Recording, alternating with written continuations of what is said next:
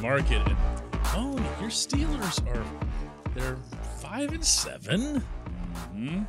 They've won, count them, two in a row. First time. First time. Mhm. They are four and four when Kenny starts, and the list of teams in those four losses is also a list of some of the National Football League's elite. Yeah. How good is your head coach feeling about everything right now? Uh, well, if you click on the Steelers website, you will see a very chipper smile of Coach Mike Tomlin at his weekly press conference, which those can be real bland, real blah, real straight Especially face. for him, yeah. Yeah, especially when you have a clip of him from Atlanta telling the guy, "Hey, man, I'm bleeping working right now." because that's what he does. People were tagging me in at this week, uh, and it was him walking to the back and, and I guess doing his halftime adjustments. But that's just his mind, though. You know, it's it's him being in that mode all the doggone time as far as just coaching, coaching up guys, trying to find ways to win. I can say whether you you like Coach T or not, or you don't like his methods or however you want to go about it, the guy wants to coach. The guy loves to coach. The guy, Coach Tomlin, is a coach first and foremost that want to win games. You know how the pendulum swings in this league as far as good, bad rosters, quarterback, defense, offense. Uh, but to have a steady Eddie of a guy and him that ultimately feels the same way as the fan base, look, I just want to win. That's a good place to be at, man. And like you said, to lose some games to some of the NFL's best teams when you know, I think we all can be honest with ourselves, knowing that you don't stack up in a sense. Um, that right there is just part of the job, and it's a matter of how long that grace lasts and how quickly he can get things turned around, too, though, DK. Do you remember when he went to 10, 2 and 6? The Steelers did, not him. But him too. Yeah, I, I do. I was a part of one of those teams going two and six. It was miserable, man. I Mhm. ain't no other way around it. And guess Nope. what we finished the season with? Eight and eight. 8 and 8. So this 2 and 6, I don't remember where we were. Was that Philadelphia? It was Philadelphia. Yeah, yeah. And and uh, I asked him afterward about, you know, what it was like being in uncharted territory. And rather than answer the question, Hmm. maybe because I asked it at this point, he looks over at me and says, What do you mean? And I go, You know, uncharted territory, two and six. And he goes, I believe I've been there before. So instead of giving me an answer about being da da da where he is, he he threw the technicality at me, which is of course that you guys in 2013 in London Yeah. after the 0 and 4 start were 2 and 6. But there was something there to that answer more than what he gave, meaning I've been there before. Dot dot dot. yeah. Do you follow me? And you see what I made of that. And you see what came of that and what Yeah. almost came of that because you annoying guy in the press conference room were there to cover it as well Yep. okay Yep. so if there's mm. going to be a mike tomlin who's going to be defiant and whatever else when he gets into his moods and then there's going to be the one who somehow magically turns this season into a i can't even think of okay I, I don't. Yeah, yeah. I- don't know what it is, and you know the other side, DK, is why Hmm. he probably went at you like this, man. It's probably because he may listen to us and he understand we had that conversation too. That's what I'm going with. Okay, he's like, hey, you go ahead and do that you, you. I'm pointing at you, guy with the black hoodie on. You do a pod with one of my former players that was part of one of those teams. And and being a part of that team, DK, this is this is you know the, one of those parts of it is it was miserable. And you know what? He didn't let us get out of it being miserable either. It was it was heavy.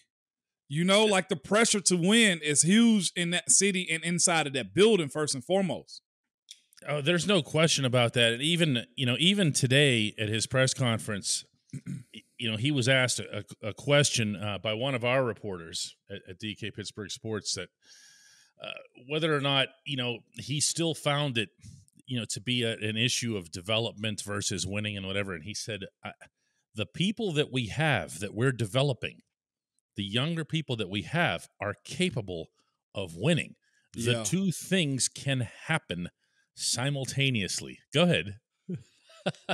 DK, at first I was joking about him listening. Now I'm being like, do we need to check his YouTube or his Spotify or his Apple? Matter of fact, catch us on all those platforms, okay? Free Okay, plug Coach. there. You But- do that, coach. DK, did we not just say We this did. last week? We did. A- a- about look is young, but it's young and good. It's young, but man, they're fighting. It's young, but they're not quitting. And that's the point in which he probably, you know, asks you that question or or, or re uh, asks you that question, like, what do you mean by that? Mhm. Because it's not like he's got a team full of quitters. It's not like you look at a team really trying to jockey itself into, as much as I bring it up, a top 10 pick.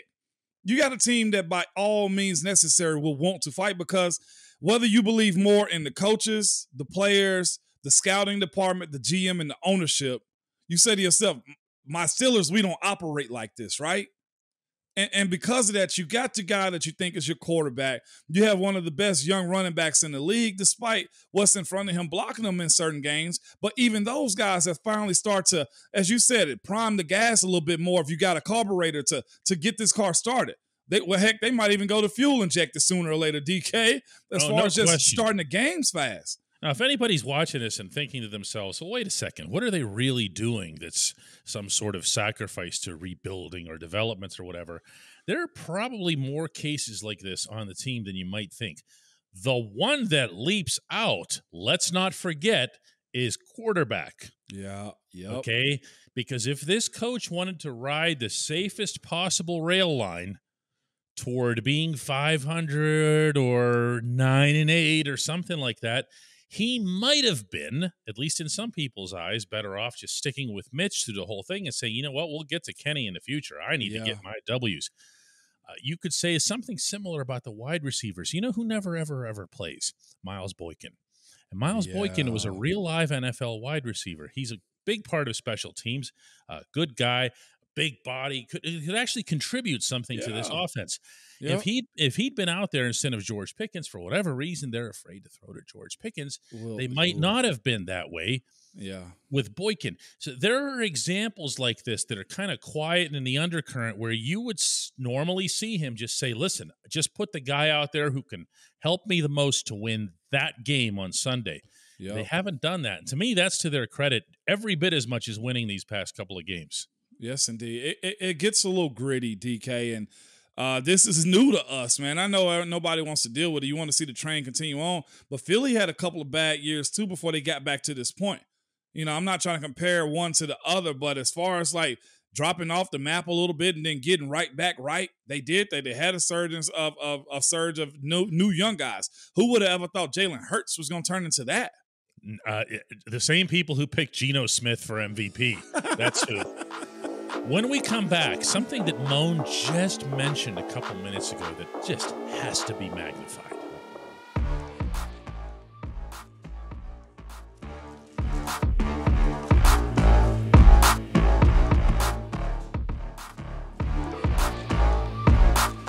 Welcome back to the Ramon Foster Show. Ramon was kind enough to bring up, just kind of parenthetically there, Tomlin's viral, now viral encounter with the fan in the Atlanta bowels there at Mercedes Benz Stadium. For anybody who missed it, the there's a guy who's just like a he's a fan. He's by himself and he's got a phone on and he's he's recording uh, the coach as he walks by, and he says something like, "What was it? Let's hey, go." hey, Coach Tomlin or something like that. And he had let's his camera let's up. let's get him going, yeah, or something like that.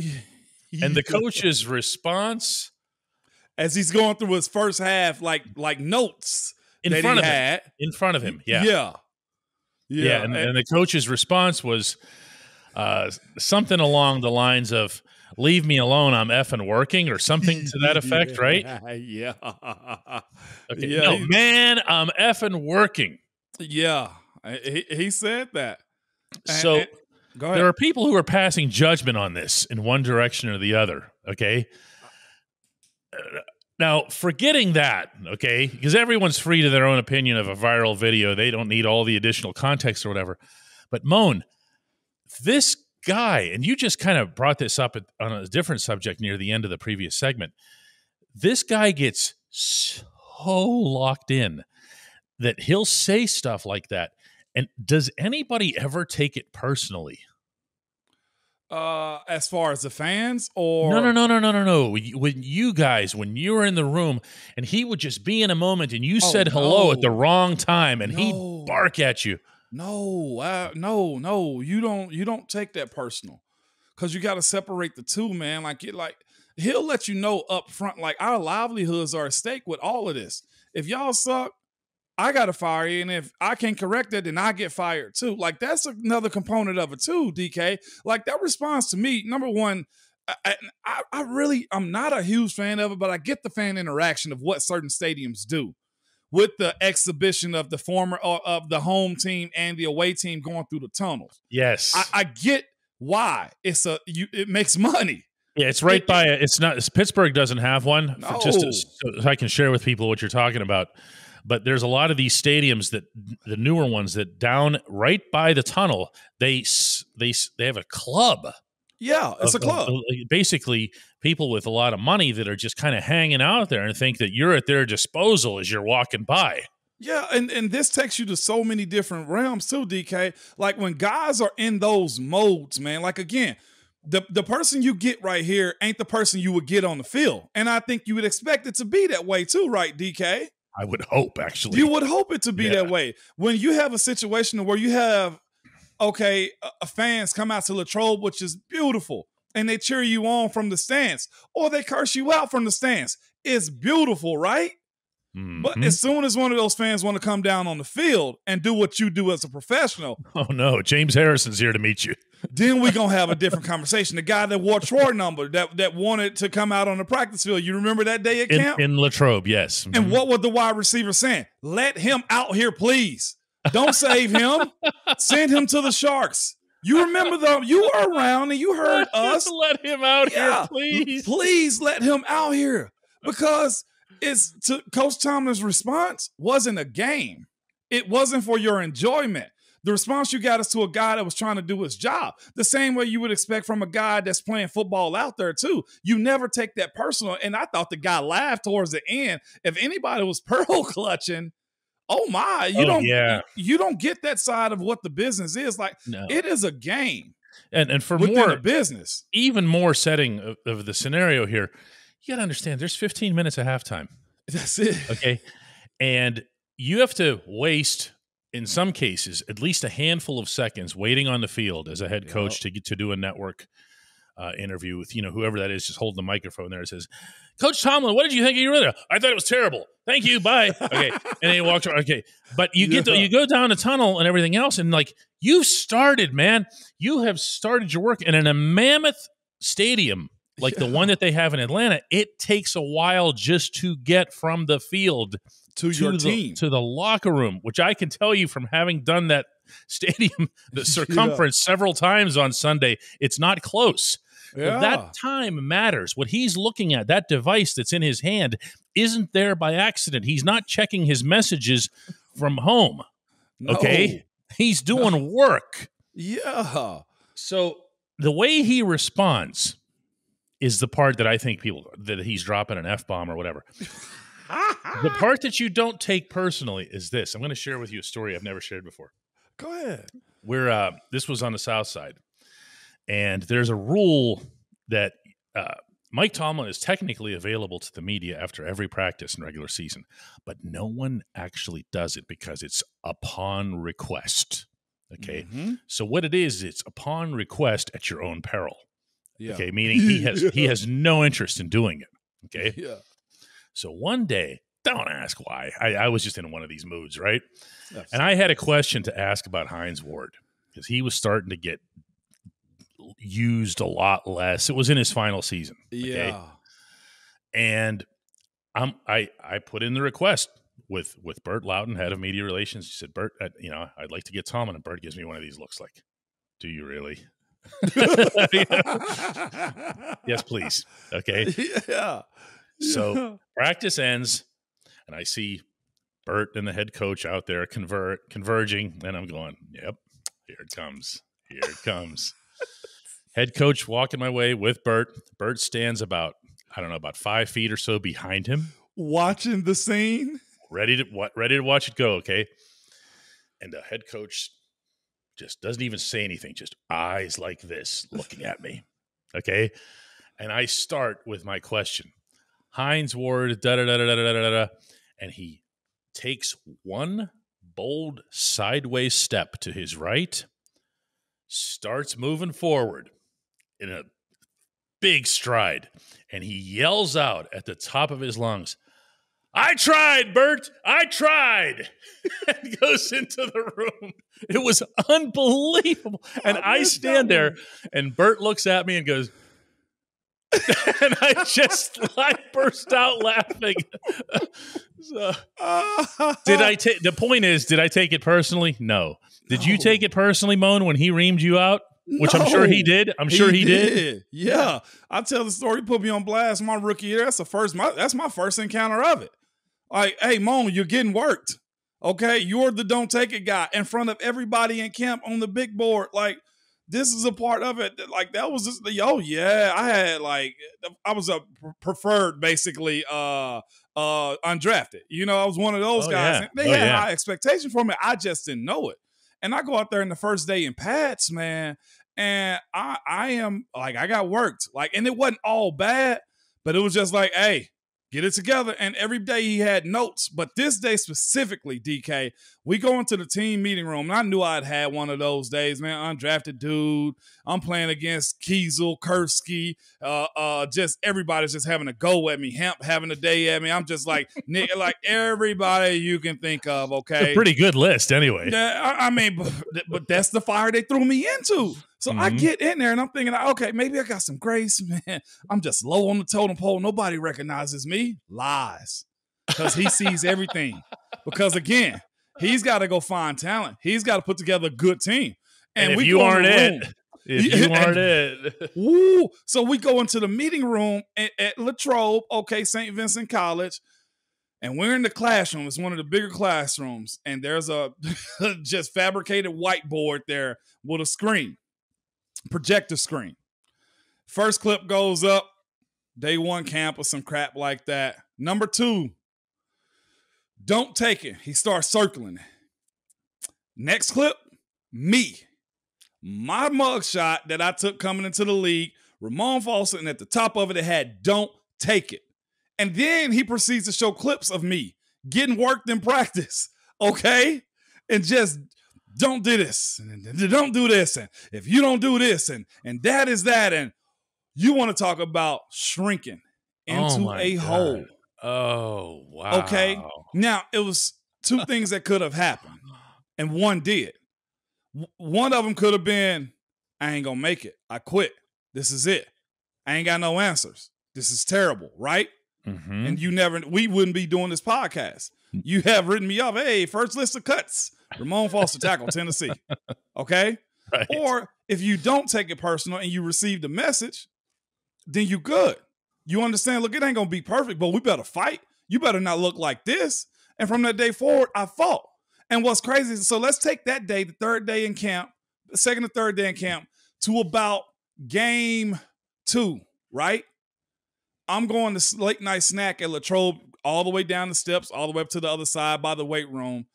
Coach Tomlin's in the uh, weight room working out, and he sees me walking with a group of guys, and uh, and he comes off of the treadmill because he can run towards the windows. There's open windows right there. He can run and see everything on camp. He gets off the treadmill in a in a deep sweat, and he comes over to me. Hey, Big Moan, come here. I'm like, oh Lord, what what I do now? And he simply asked me, "How you think you're doing in camp?" I knew I had a few good days and I, I was solid. I think I'm doing pretty good. He's like, Yeah, I think you are. He was like, Let's keep doing that. It looks good to me. Just do more of it. And at that moment, I was like, Okay, we got something. Okay. This is so as much okay. as he he can get yeah. you on the front end, if you understand what the message is, is what he's kind of trying to tell that guy, look, man, I'm trying to win this damn game. You know what I'm saying? Like, and and and there's been numerous guys he's had in those situations before, but mine specifically was just like, I could have DK. I'm undrafted. There was no reason to put any stock in me. No, it's it's it, the direct approach uh, to what he does. certainly applies on the football field. And for anybody who thinks that he would do that like at a fan fest or something, no. you know what I'm saying? Or the in the grocery, grocery store, you know, somebody goes up to him at a giant eagle and says, Coach Tom, let's go Steelers. What do you think he's gonna do you think he's gonna flip man, that That's what he, he, gonna hit you with. He's, just gonna, gonna go. we appreciate you. We appreciate yeah. you. It's going to be something like that. Okay, you, you're you're the reason that we do this, whatever. But in that moment, N O no. When we come back. Yeah, yeah. The only segment that matters. Hey,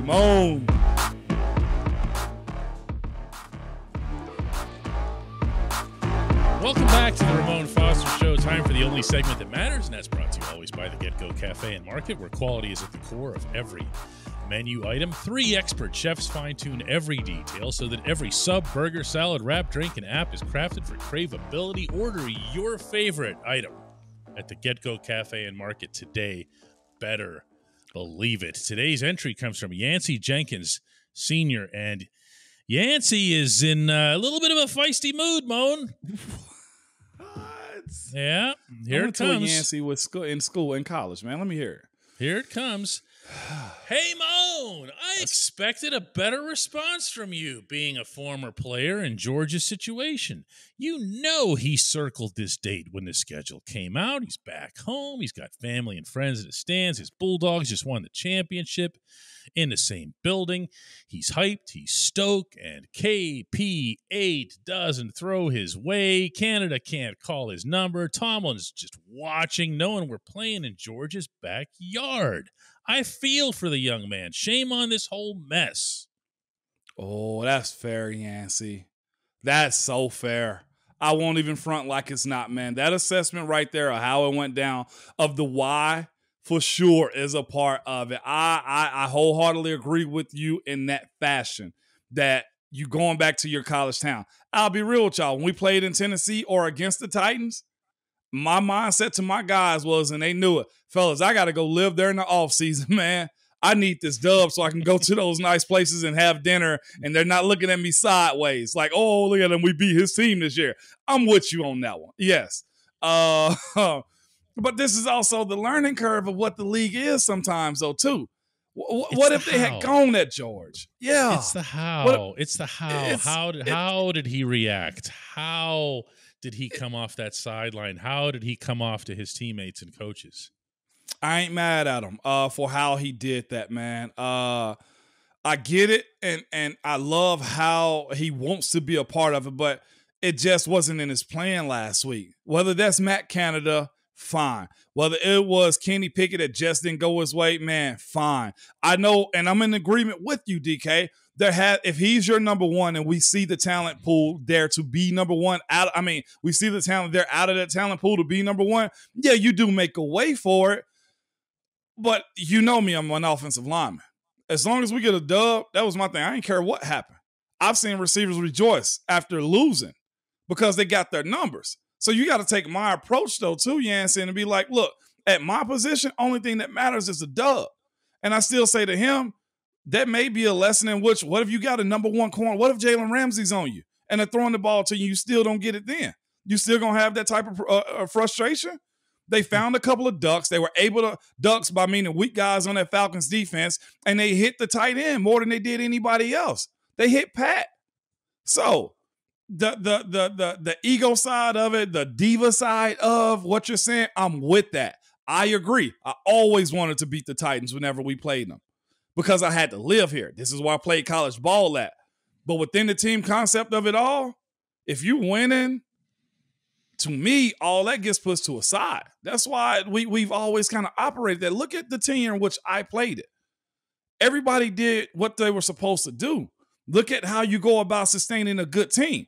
If it's coming to you, man, cool. We're good. Don't force us to get outside of our offense to absolutely make it about you. So that's the only part I push back on to you, Yancey, is I ain't even pushing back. I'm just making my point to be like, within the team concept, that ain't cool, but I get it. I ain't gonna tell him not to want the ball because he's just that good. But that ain't how you operate on the day against the Falcons and what you got ducks, sitting ducks at other every other position that you can take advantage of.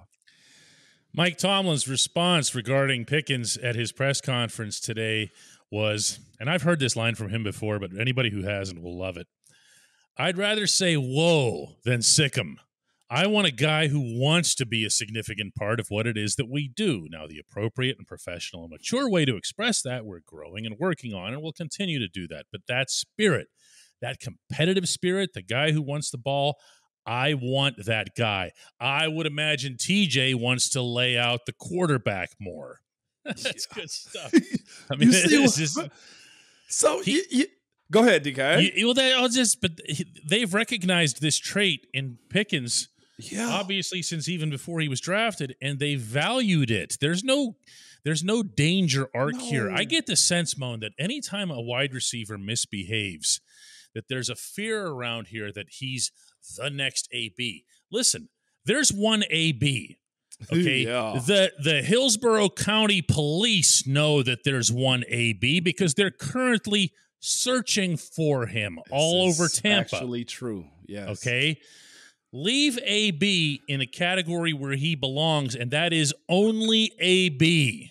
That's so true. Let's, Every people were comparing Juju to him because Juju tweeted a lot let's not do that. I'm with you on that because George is his own person. I've had dinner with the kid. He's he's got it together. He does, yeah. and it and and I think what you saw is and what Coach Tomlin said too, though. DK, like when you do that in front of the world or in front of the nation, that outburst, he always says this.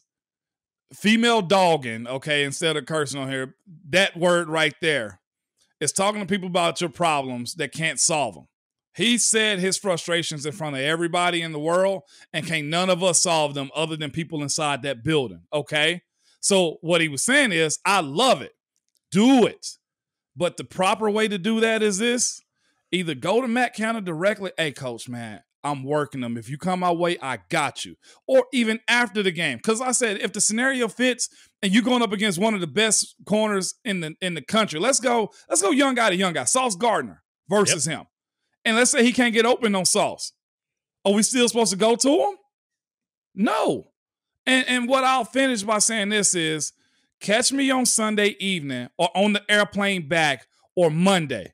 Yeah, Coach T, I want to ha- yep. I want to have a conversation with you. Okay, George, come to my office. What we gonna talk about? I want the ball more. Boom. You got it. In times in which I thought I was, I should have been the starter in like year two or three, go to my coach. Hey, what do I need to do? You know what I'm saying? What, how do I crack this starting lineup? What what's the conversation to be had? Yeah, and hey, coach, as long as I'm in here, what what were you what you what were you putting me at slot for? You've had me running. Hang on, no, coach. No, coach, sit yeah. down. Hey, hey, come yeah. back here. Sit down, coach. Yeah. I I've been lining up outside all through yeah. my NFL rookie season. I've been running the same bleeping straight ahead pattern. By the way, statistically and film proven to be the NFL wide receiver with the most of those types of patterns of any wide receiver anywhere. And now all of a sudden you throw me in a slot and then you don't throw me the ball. Coach, coach, hey, hey, hey, no, hey, I wasn't done. Yeah. Come back, coach. Yeah. Back. Yeah. That's what he's saying, right? Come talk to me though. That's what you're saying. I'm yeah. just laying it all on Matt Canada.